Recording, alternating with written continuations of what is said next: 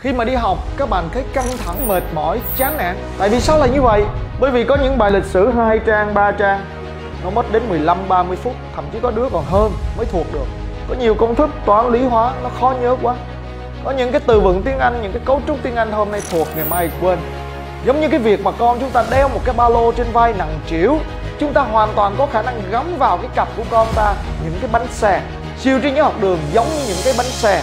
nó là những cái phương pháp giúp cho con của mình học nhanh nhớ lâu để con của mình có thể thuộc bài một cách dễ dàng có nhiều thời gian để nghỉ ngơi vui chơi. Đây là phương pháp mà tôi đã dùng để đào tạo cho hàng trăm ngàn học sinh trên khắp cả nước và những học trò ưu tú của tôi trên các cái chương trình như là siêu trí tuệ siêu trí nhớ siêu tài năng nghĩ trong suốt những năm qua. Siêu trí nhớ học đường gồm có bộ giáo trình là cái nơi mà tôi đã tổng hợp tất cả những cái phương pháp nhớ toán, lý, hóa, văn, sử địa từ lớp 1 đến lớp 12 Phần thứ hai là những video clip tôi diễn giải, trình bày tất cả những kiến thức đó một cách sinh động. Phần thứ ba là phần tham khảo tất cả những cái bài của con từ lớp 1 tới lớp 12.